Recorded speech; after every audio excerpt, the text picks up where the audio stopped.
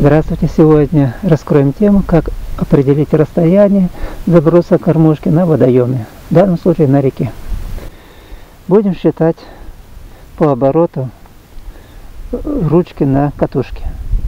У меня один оборот равен 65 сантиметров. Забрасываем определенное место, и если там идет поклевка, нам необходимо определить это расстояние и потом зафиксировать его резиночкой, чтобы при забросе кормушки кормушка падала в одно и то же самое место. Сейчас у меня ручка в этом положении, находится на катушке. И когда буду вытаскивать кормушку, тогда буду считать, сколько оборотов сделал я данной ручкой. Берем на палец шнур или леска у кого есть, откидываем дужку и идем на заброс.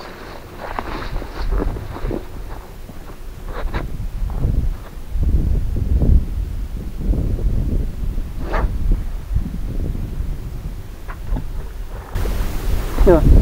У нас кормушка попала в определенное место. Откидываем назад доску эту. Ставим на место ее. И натягиваем леску. Или шнур. Смотрим, чтобы шнур или леска были в натянутом состоянии. Это определенно видно по вершинке, если, чтобы вершинка была маленечко как бы согнутая. И так удержим это натяжение.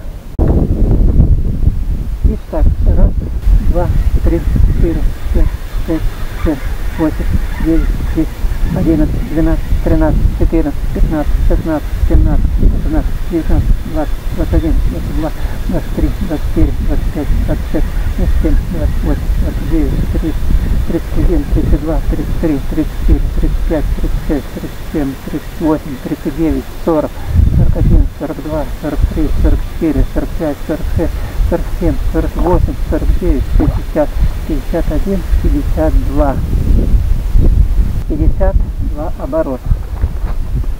52 оборота на 65 это где-то будет нас 33-34 метра. На такую длину было сделано мною заброс кормушки. Если нам нравится это место и идет там часто поклевка мы фиксируем через клипсу резиночку. Это есть отдельно мне видео как делать это и постоянно делаем заброс на определенное место. А чтобы не было отклонения влево-вправо, то ориентир избираем недвижущийся предмет на той стороне реки. И по этому ориентиру делаем заброс. Расстояние у нас известно, ориентир тоже известный. И стараемся в одно и то же самое место попадать, чтобы отклонение было не более одного метра. Тогда кушность будет хорошая и рыба будет идти на поклевку. Но сперва необходимо выбросить кормушек 10-15 подкормки для нее. Кто желает получать известия о добавленных мною новых интересных и полезных видео, то подписываемся на мой канал. Всем желаю уловистой рыбалки, всего доброго, до свидания.